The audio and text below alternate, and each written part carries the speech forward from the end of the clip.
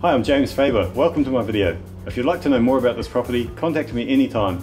Three beds, plus studio with toilet. This solid 1950s home is well maintained and ideal for young families.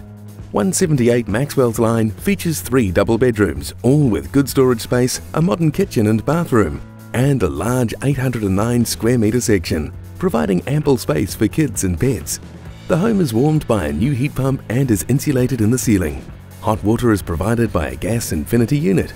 The 101 square metre floor area feels spacious, with two hallways and a separate master wing, with a second shower off the laundry. A real bonus here is the garage and studio combo, which has its own toilet. The section is fully fenced and a large deck located at the rear of the property is superb for entertaining. The Riverdale location is fantastic with its close proximity to great parks, shops and zoned for Riverdale School. This wonderful family home is packed with features and is sure to meet your needs for years to come. Call James today for your immediate inspection. Thanks again for watching my video. My contact details are on the screen. Feel free to call me anytime. James Faber at Property Brokers Palmerston North. Call James anytime on 027 956 1723.